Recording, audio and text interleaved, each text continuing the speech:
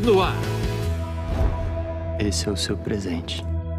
As novelas inéditas do ano que vem já estão em produção.